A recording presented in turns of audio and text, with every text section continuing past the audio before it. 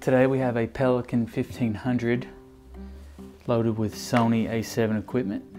I'm going to show you how, one way that I have arranged uh, my 1500, what I can get in it and what I can't. For starters, I have two flashes, have this Yongnuo YN560III speed light, along with a second Also have the Yongnuo YN560TX manual flash controller, which I really like, goes along with the flashes. Have a Batis 1.885, a Batis uh, 225, a Voigtlander 15 4.5 with Novoflex adapter. Also have a Voigtlander 35 1.2 version 2 of the Nokton with the Voigtlander VME close focus adapter. And then the Sony 55 uh, 1.8. Also here I have a camera, I have the Sony a7 Mark II with the 24 to 70 f4 lens and it fits pretty comfortably in there along with uh, just a padded compartment for some batteries. Always extra, carry extra caps. Another battery. Here's a uh, wall charger, came with the A7R2. And then of course, four extra double A's. Pack this back up real fast.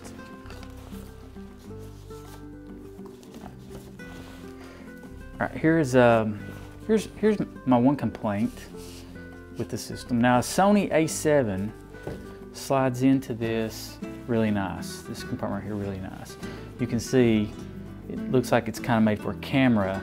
Uh, the way these come from the from Pelican, this padded insert makes you think it is for a camera, but the camera doesn't fit in there real well. You, the extra on the A7 Mark II, you've got this uh, grip that sticks out and that causes some friction. I mean, it's no big deal. It just doesn't slide right in like you'd imagine it.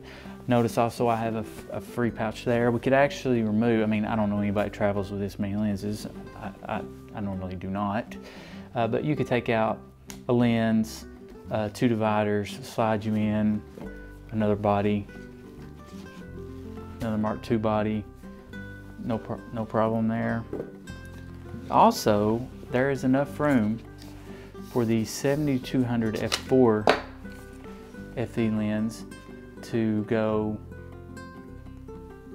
in either one of these.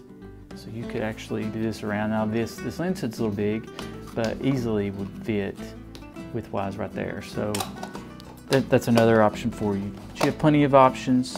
Uh, they do make a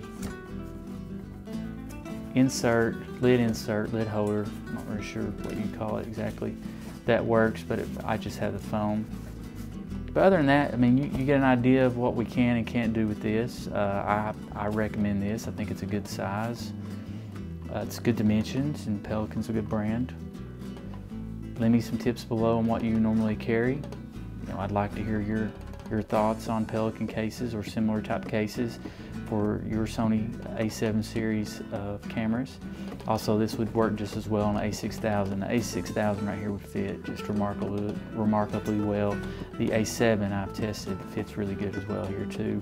I, I wish Pelican would have made this a little shorter, but you get what you get, and it's kind of hard to find extra dividers or, you know, I haven't found anything that I'm aware of that makes this shorter to make this a little bit easier. You know, alternatively, I could have just took, made this straight, put in more dividers, and transported the camera without the lens. But I always, for some reason, I always like to put a lens on the body when I put them in a case. That way when I pull it out, I'm ready to go. And I just, this is the way I happen to organize it.